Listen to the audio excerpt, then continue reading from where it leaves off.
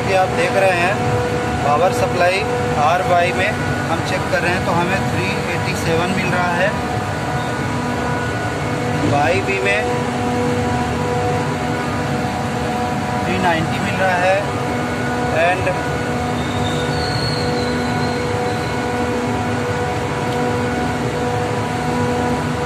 R B में 386 मिल रहा है।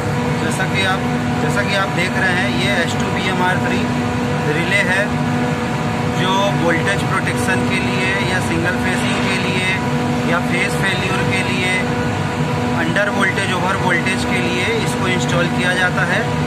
तो जैसा कि आप देख सकते हैं, इसमें under voltage and over voltage दोनों के लिए रेंज सेटिंग किया हो गया है। एंड ये फ़ेज़ अनबैलेंस के लिए है। ये सिग्नल देता है। अगर फेस सिक्वेंस अनबैलेंस रहेगा तो यहाँ पे रेड सिग्नल आएगा। अगर अंडर वोल्टेज ओवर वोल्टेज में कोई वेरिएशन आ रहा है तो यहाँ पे सिग्नल आएगा। तो जैसा कि आप देख सकते हैं कि ये सेटिंग है। इसमें 370 380 के समथिंग है सेटिंग तो जैसा कि हमने पावर सप्लाई चेक किया 386 चल रहा है। तो हमें इसे चेक करने के लिए प्रॉपर काम कर रहा है कि नहीं, ये चेक करने के लिए। हम क्या करेंगे इस अंडर वोल्टेज की सेटिंग को 380 के ऊपर 380 के ऊपर ले जाएँगे 390 के समथिंग तो हमें ये इसमें सिग्नल मिलना चाहिए अंडर वोल्टेज में सिग्नल आना चाहिए।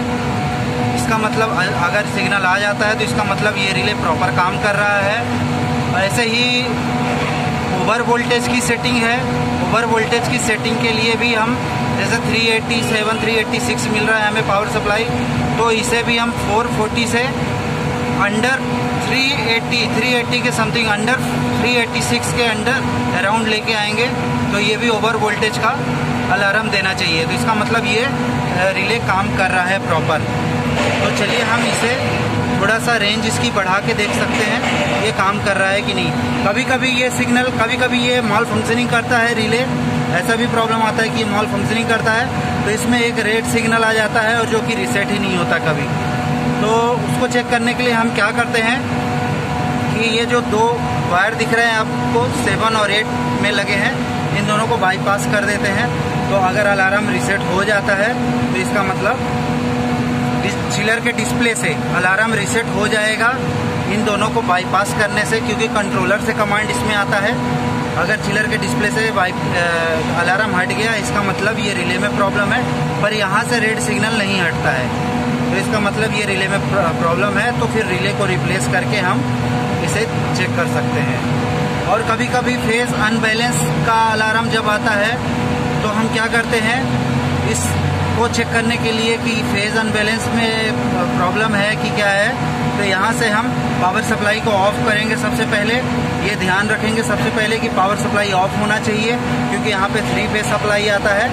इससे कुछ एक्सीडेंट हो सकता है, इसलिए सबसे पहले पावर सप्लाई को ऑफ़ करेंगे और फिर यहाँ पे कोई भी एक फ़ेज़ को इंटरचेंज करेंगे, या आर बाई को, या बाई बी को, या आर बी को।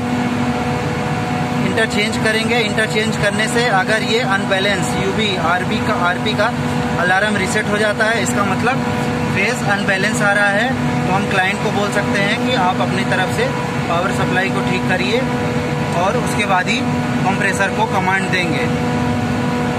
तो चलिए हम इसका सेटिंग चेक कर लेते हैं कि ये प्रॉपर काम कर रहा है कि नहीं। अगर हम इसे रेंज में ले आएँगे, जितना पावर सप्लाई हमें मिल रहा था 387 390 के बीच में, इसे लेके आएँगे 390 ये दिख रहा है आपको 390 के समथिंग ले आएँगे।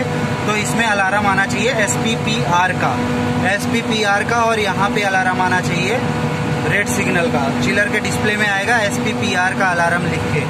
तो चलिए हम इसे सेटिंग को 390 के समथिंग ले आते ये देखिए, यहाँ पे अलार्म आ रहा है थ्री 90 पे सेट करने के बाद अलार्म आ गया अंडर वोल्टेज का।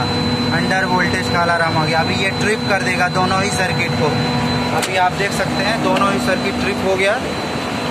इसमें लिख के आ गया है S P P R alarm.